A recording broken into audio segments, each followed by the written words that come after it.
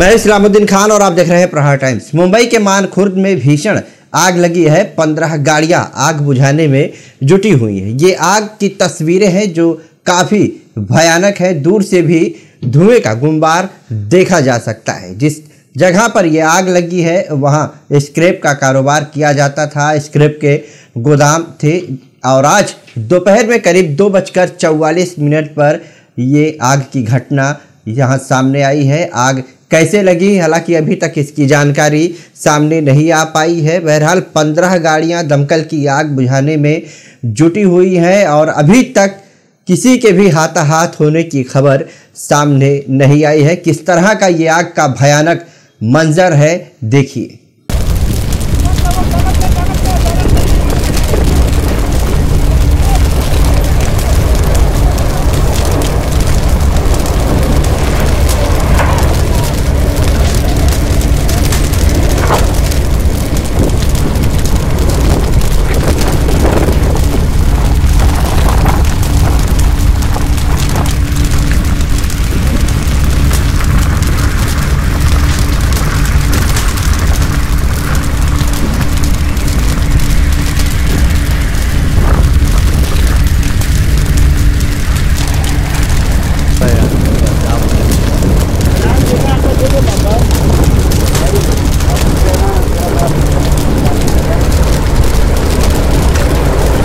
अभी तो police case होएगा रे, अभी क्या बोले?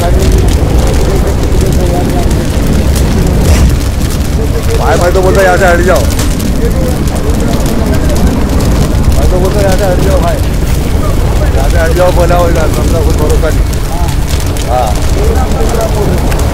तो कुआ है करके मैं यहाँ तक आया रे बाबा के थोड़ी जाऊँ मैं से पहले से जाए साथ में जाएँगे। अरे तो हम लोग थोड़ी मौत से डर रहे तो- तो- तो कुछ हो। गया, मैं कभी क्या? मालूम नहीं हाँ, ऐसे घुस जा रहे मालूम मेरा नाम हैं कौन का भी मैं? कि कोयल की तरह वगैरह हम लोग घुस गए अंदर। मेरे मालूम है कौन से रास्ते से जाऊँगा मैं अंदर। हाँ देखो मालूम है कौन तेरे साथ में रहेगा।